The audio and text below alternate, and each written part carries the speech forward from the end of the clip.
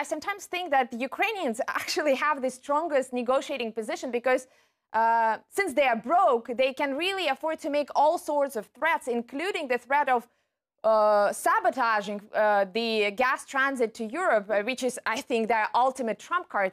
Do you think they are likely to use that trump card? Is it really on the table now that uh, Russian gas supplies would be totally cut off? Well, uh, yes, that would be a, a very uh, major trump card, but dangerous to play. It would be like playing with a double edged sword.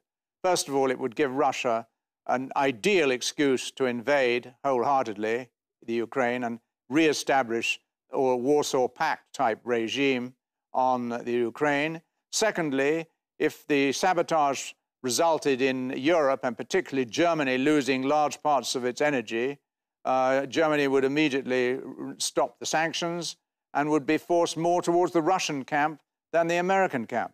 And so it would be a very dangerous two edged sword, in my opinion.